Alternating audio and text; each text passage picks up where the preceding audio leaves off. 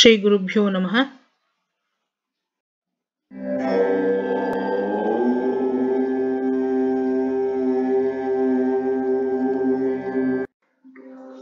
golden words of great guru our jeshta mahasannidhanam srimad abhinava vidyaditya mahaswamiji 31st january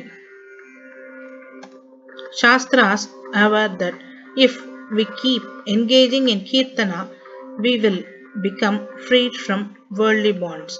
However if we do not do our scripturally ordained duties our kirtana will not duly fructify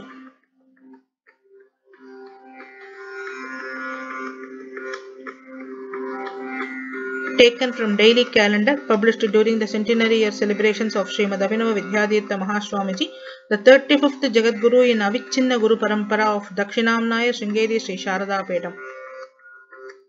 Sri Sadguru Charanara Vindabhyam Namaha.